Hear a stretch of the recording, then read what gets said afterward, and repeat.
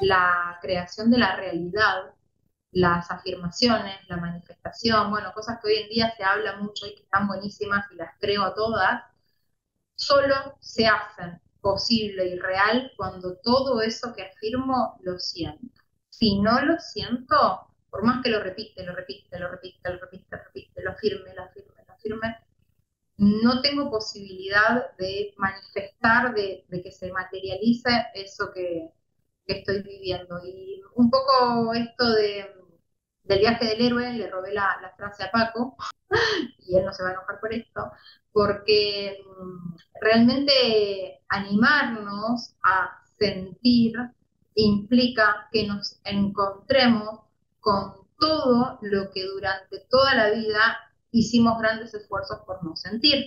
Porque, a ver, sentir sensaciones bonitas y placenteras claramente nos gustan a todos, eso no está en duda, ¿no? El tema es que lo que el cuerpo aloja y guarda son memorias dolorosas.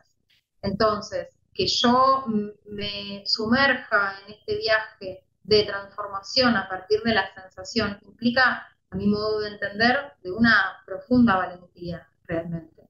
Porque eh, imagínense que si durante tanto tiempo hicimos esfuerzos eh, inconscientes, pero los hicimos, por bloquear y reprimir y seguir avanzando, es como ir a abrir la puerta del sótano que durante toda la vida acumuló trastos viejos, ¿no?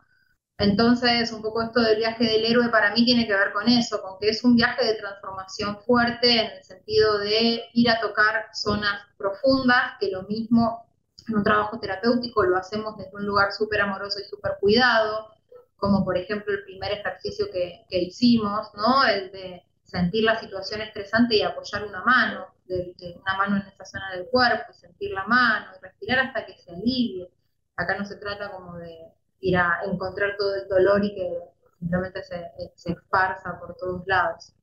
Entonces para mí es un, viaje de héroes esto de animarse a conectar con... Y tenemos que saber también que la mente todo el tiempo nos va a contar los argumentos del por qué no. De que en realidad no, por qué, bla, bla, bla, bla, bla, bla, bla, bla, bla, bla, bla, La lista puede ser larga, no, yo no puedo porque, bla, bla, bla, bla, bla, bla, bla, y así porque son mecanismos de defensa, porque si durante tanto tiempo estuvimos desconectándonos del sentir y de lo que ahí se ancló, la verdad es que no es que tan fácilmente nos va como a surgir la gana y la intuición y la, el deseo de sí, vamos a encontrarnos con eso. Entonces para mí también está bueno saber esto de que me pasa a mí, ¿no? A la hora de ponerme a hacer una práctica física muchas veces y que me digo, no, tengo la casa hecha un desastre, tengo ropa para lavar, mi nena no sé qué cosa, ¿no? Como que arranco con todas las justificaciones que en realidad me separan de ese sentir. Y a veces vuelvo a, eso cuando ya detoné por algo de mi vida cotidiana, de lo que traigo y demás, y vuelvo a detonar y digo, ¿por qué otra vez me abandoné? ¿No? Mí esta, esta propuesta es como una invitación a que hoy seamos el adulto que nuestro niño necesitó, que nuestro niño de toda la vida necesitó y que hoy podamos ser ese adulto y, darle eso, y darnos eso. Hace clic en el enlace y anotate ahora a la masterclass gratuita para no perder esta oportunidad. Clic, no pierdas la oportunidad. Te espero.